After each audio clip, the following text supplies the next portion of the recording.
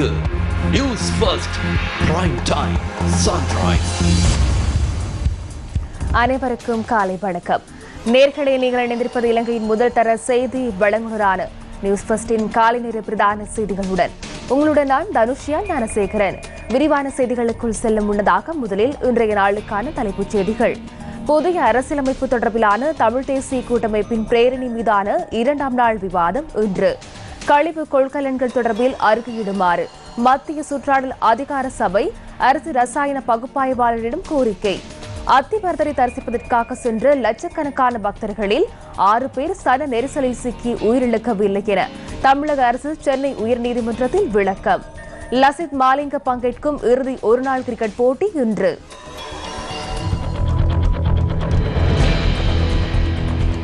இனி விரிவான செய்திகள். புதிய அரசியலமைப்பு தொடர்பில் தமிழ் தேசிய கூட்டமைப்பு கொண்டு வந்துள்ள ஒத்திவைப்பு வேலை பிரேரணி மீதான விவாதம் இரண்டாவது நாளாக இன்று நடைபெறவுள்ளது. சபாநாயகர் கரு ஜெயசூரிய தலைமையில் இன்று காலை பத்து முப்பதுக்கு பாராளுமன்றம் கூடவுள்ளது. புதிய அரசியலமைப்பு தொடர்பில் தமிழ் தேசிய கூட்டமைப்பு ஒத்திவைப்பு வேலை பிரேரணியை தமிழ் தேசிய கூட்டமைப்பின் தலைவர் பாராளுமன்ற உறுப்பினர் ரா. சம்பந்தன் நேற்று சபையில் முன்வைத்தார். எனினும் நேற்றைய அமர்வில் இந்த பிரேரணிக்கு சபையில் கோரம் இருக்கவில்லை. தமிழ் தேசிய கூட்டமைப்பு அரசாங்கத்திற்கு தொடர்ந்தும் ஆதரவு தெரிவித்து வந்த நிலையில் ஆளுங்கட்சி உறுப்பினர்கள் சபையில் இருக்காமை தொடர்பில் சபையில் கடும் எதிர்ப்பு தெரிவிக்கப்பட்டது. பௌத்தாலோக்க மாவத்தை ஸ்டான்லி விஜயசுந்தர மாவத்தை சந்தையிலிருந்து தும்முள்ள சுற்றுவட்டம் வரையான கொழும்பிலிருந்து வெளியேறும் ஒழுங்கையூடான வீதி போக்குவரத்து இன்று முதல் மூன்று மாதங்களுக்கு மட்டுப்படுத்தப்பட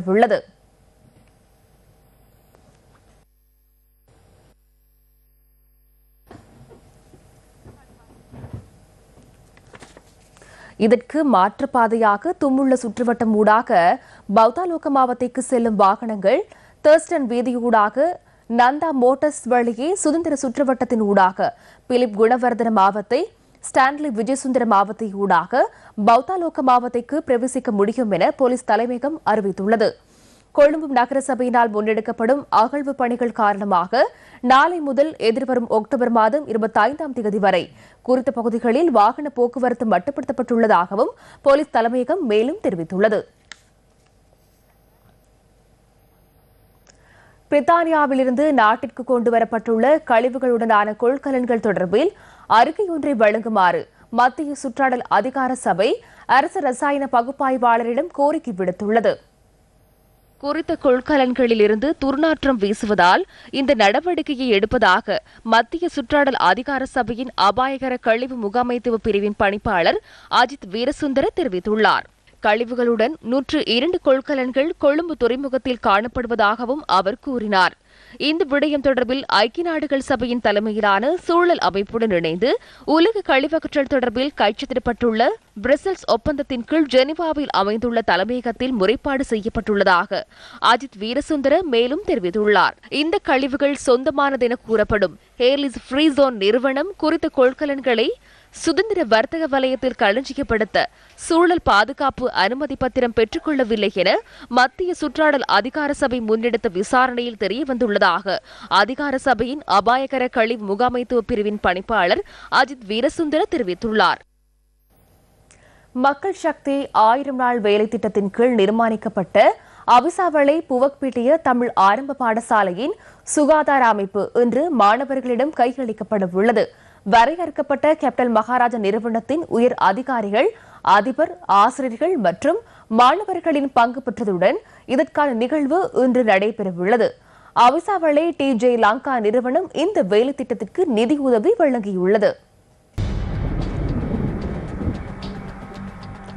நாட்டில் இன்றும் பல பகுதிகளில் மழை பெய்யும் சாத்தியம் உள்ளதாக வளிமண்டலவியல் திணைக்களம் எதிர்வு கூறியுள்ளது.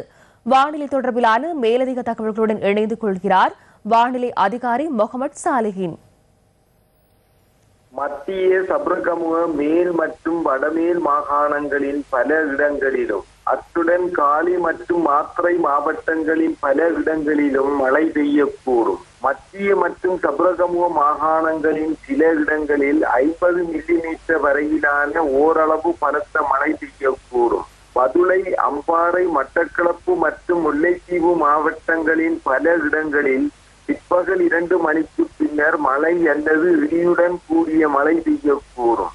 பலத்த காற்றும் மின்னல் தாக்கங்களும் ஏற்படக்கூடிய சந்தர்ப்பங்களில் பொதுமக்கள் அவதானத்துடன் செயற்படுமாறு கேட்டுக் கொள்ளப்படுகின்றனர். கடல் பிராந்தியங்களை பொறுத்தவரையில் தளம் தொடக்கம் கொழும்பு காலி ஊடாக மாத்திரை வரையான கடல் பிராந்தியங்களின் சில இடங்களில் மழை அல்லது இடியுடன் கூடிய மழை பெய்யக்கூடும்.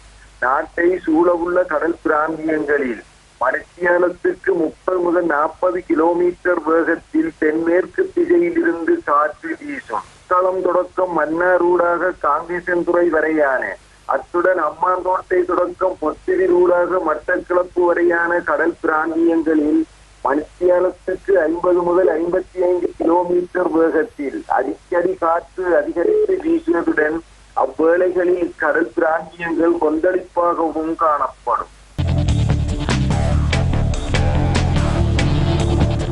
இனி விளையாட்டுச் செய்தி. இலங்கை மற்றும் பங்களாதேஷ் அணிகளுக்கு இடையிலான முதலாவது ஒருநாள் போட்டி இன்று நடைபெறவுள்ளது. அணியின் தலைவராக திமுத் கருணாரத்ன செயற்பட உள்ளார் இலங்கை கிரிக்கெட் நிறுவனத்தினால் பெயரிடப்பட்டுள்ள இலங்கை குழாமில் முதல் போட்டிக்காக வேகப்பந்து வீச்சாளர் லசித் மாலிங்கு உள்வாங்கப்பட்டுள்ளார். அந்த போட்டிக்கு பின்னர் ஒருநாள் போட்டிகளிலிருந்து லசித் மாலிங்கு ஓய்வு பெறுவதால் இரண்டாம் மற்றும் மூன்றாம் போட்டிகளுக்காக தசுன் சானுக்கு அளிக்கப்பட்டுள்ளார். குசல் ஜனித் பெரேரா அவிஷ்க பெர்னாண்டோ குசல் மெண்டிஸ் ஆஞ்சலோ மேத்யூஸ் லஹிரு திரிமான ஷெஹான் ஜெயசூரிய தனஞ்சடி சில்வா ஆகியோர் இலங்கை குழாத்தில் இணைக்கப்பட்டுள்ளனர். இவர்களை தவிர வரிந்து அசரங்க அகில தனஞ்சய நுவான் பிரதீப் லஹிருகுமார திசர பெரேரா இசுரு உதான மற்றும் கசுன் ராஜிதா ஆகியோர் அணியில் இடம்பெற்றுள்ள ஏனைய வீரர்கள் ஆவார் நிரோஷன் திக்வெல்ல தனுஷ்க குணத்திலக்க மற்றும் லக்ஷான் சந்தகேன் ஆகியோர் குளத்தில் குழாத்தில் இணைக்கப்படவில்லை. இந்த போட்டிக்கான சகல அனுமதி சீட்டுகளும் விற்பனை செய்யப்பட்டுள்ளதாக இலங்கை கிரிக்கெட் நிறுவனம் தெரிவித்துள்ளது. அந்த தகவலுடன் நியூஸ் ஃபர்ஸ்டின் இன்றைய நாளுக்கான காலை நேர பிரதான செய்திகள் நிறைவடைகின்றன வணக்கம் Hotline 0114 896 896. www.newsfirst.lk. Feedback at newsfirst.lk.